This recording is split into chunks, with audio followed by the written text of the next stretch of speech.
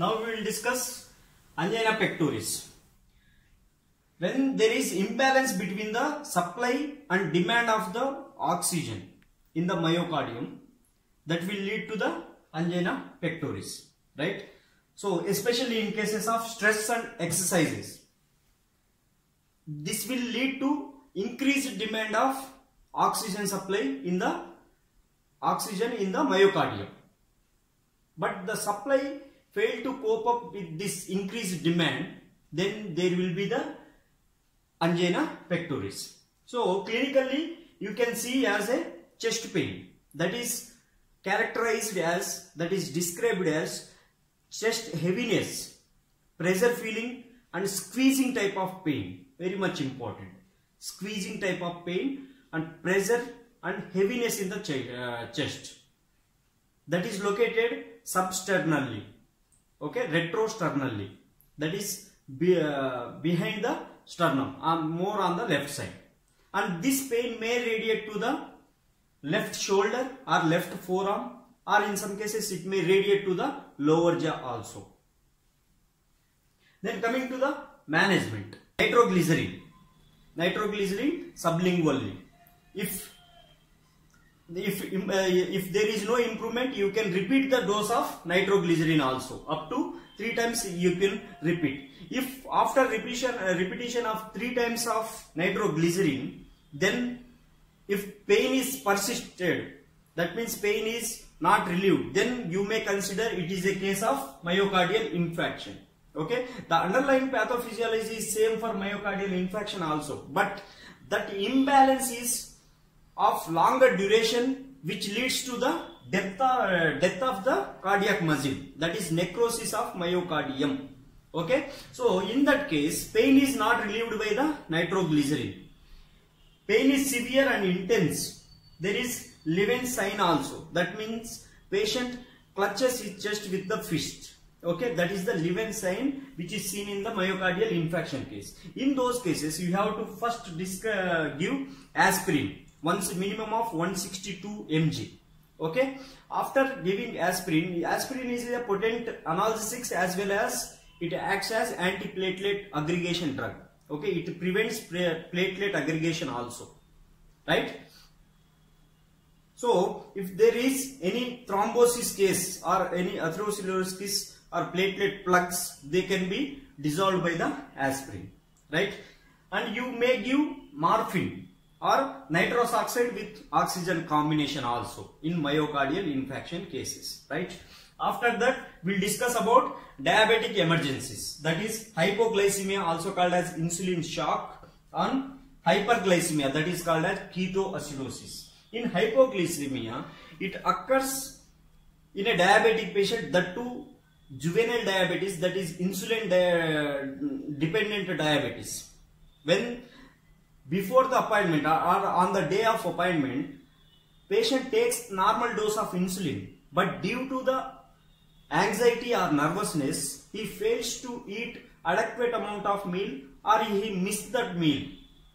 In those cases there are chances of hypoglycemia.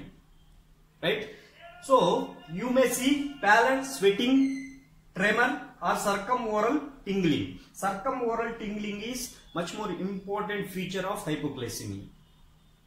So in that case what you can do if the patient is conscious then you can give the oral carbohydrates. That is 10 to 20 grams of oral carbohydrates. Maybe in the form of fruit juice or diet soft drink.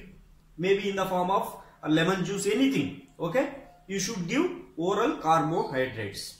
If the patient is unconscious then you have to establish intravenous line and give 50% of dextrose. This should be ideally done.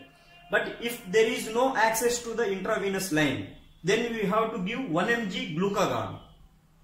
Okay 1 mg glucagon. It promotes hyperglycemic state. That means it increases blood glucose levels by glycogenolysis.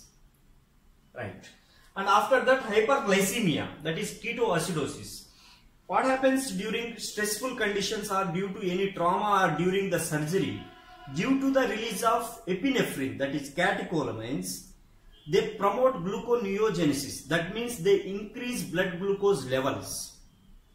Okay, if already the diabetic is not under control and you are doing the surgery means the blood glucose level still raises leading to the hyperglycemic that is ketoacidosis.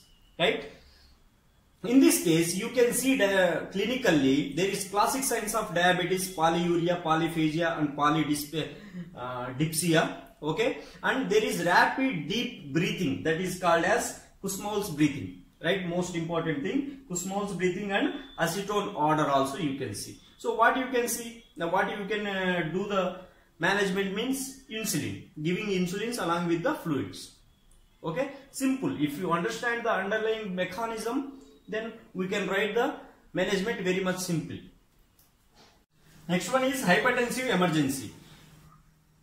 In a hypertensive patient, on the procedure, when you are doing the procedure, if diastolic blood pressure raises more than 120 mm per mercury, okay, then it is can be considered as hypertensive emergency. Okay, you know that there is categorization of hypertension pre-hypertension stage, stage 1 hypertension, stage 2 hypertension like that. Okay. If it is systolic blood pressure more than 159 mmHg and diastolic pressure more than 100 mmHg, uh, 100 mmHg then it is considered as generally stage 2 hypertension. But hypertensive emergency is diastolic blood pressure more than 120. Okay. This may be due to the stress or anxiety. So patient may feel headache, dizziness, signs of visual impairment. Signs of visual impairment. These are the clinical features. Then the management includes giving 10 mg, uh, 10 mg of nifedipine sublingually.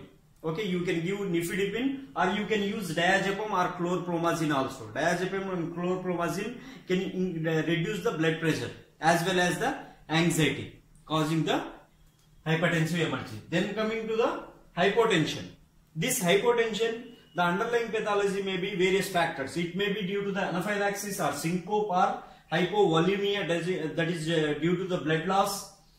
So generally when systolic blood pressure less than 90 mmHg and diastolic less than 60 mmHg, then it is considered as hypotension. Patient may feel restlessness, confusion, nausea and vomiting.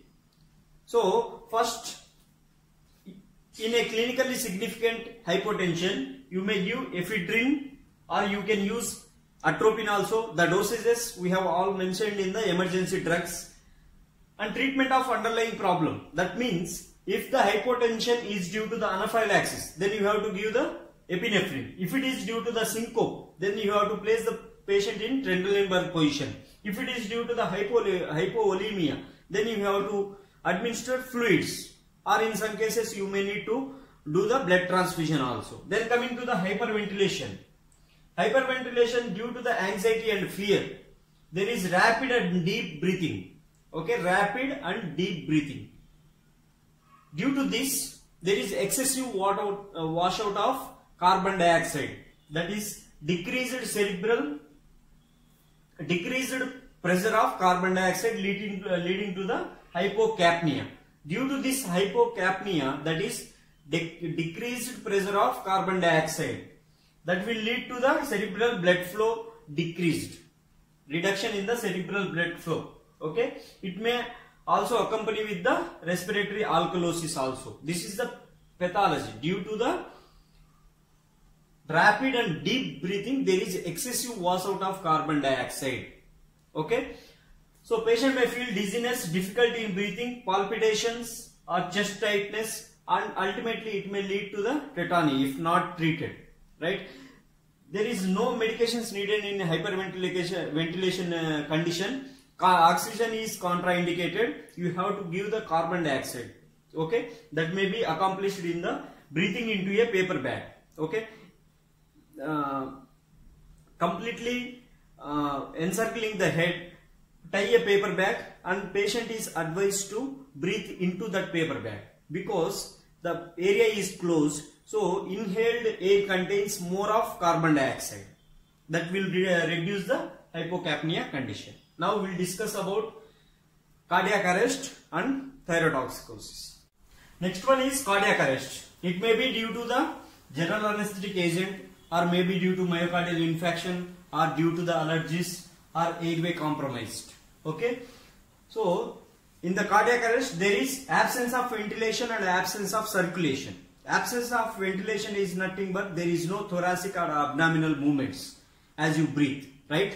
And absence of circulation means there is no carotid pulse or no femoral pulse, okay? So patient is unresponsive and there is dilated pupils that shows decreased or there is no cerebral blood flow and patient may get comatized. Okay. So first priority in the management is to open the airway. Place one hand behind the neck and extend the neck and place another hand on the forehead. Okay. By this procedure, neck is bent forward, um, backward. So by this procedure, tongue is pulled away from the posterior pharyngeal wall, opening, thereby opening airway. Okay. If this is not successful, then you have to place fingers behind the mandibular angle and jaw is moved forward forcefully. With that procedure also you can open the airway. Okay. After that, if there is no improvement or still the cardiac arrest is there, then you have to perform the cardiopulmonary resuscitation CPR. Okay. Placing heel of your hands on the lower sternum and keep your hands straight and shoulder on the sternum sh shoulder on the sternum like this okay? You have to compress the sternum by 1.5 to 2 inches in adults okay? 1.5 to 2 inches in adults. These compressions should be approximately 80 to 100 per minute okay? And there should be 15 to 2 ratio of compressions to the breathing. That is providing artificial ventilation. That means every 15 compressions you have to do at least two rescue breathings. Okay? This is regarding uh, cardiopulmonary resuscitation. And success of cardiopulmonary resuscitation depends on the time lapsed. Okay? So after cardiac arrest generally first 8 minutes is more important. If you do correct treatment in 8 minutes in that period, there are more chances of saving the life. You can use AEDs also, that is automated external defibrillators. Okay. In epinephrine can also be given. Epinephrine should be given. That is 1 mg intravenous. Straight into the, you can give straight into the cardiac muscle also. Okay. So this, uh, this is about cardiac arrest and after that we have thyroid storm that is excessive uh, release of thyroid hormones in hyperthyroid patients in untreated hyperthyroid patients. This may be due to the stress or fear or anxiety and these patients are sensitive to epinephrine actions. So if there is epinephrine in your local anesthesia then there are high chances of getting excessive release of thyroid hormones. So clinically you can see high basal metabolic rate, tachycardia, dysarrhythmias, excessive sweating and fever. Okay. So these are the clinical features. In a untreated hyperthyroid patient, you can see the thyroid storm. So generally in hyperthyroid patients or uncontrolled hyperthyroid patients, we have to use plain LA that is without adrenaline. Or if you want to use the adrenaline there should be minimal amount not excessive right? Then once thyroid storm occurred then you have to use propyl thiouracil these are anti-thyroid drugs which inhibits production of thyroid hormones. Or you can use inorganic iodine also. This is this blocks release of the thyroid hormones right? So this is treatment. If you like this video, hit the like button, share the video, subscribe the channel.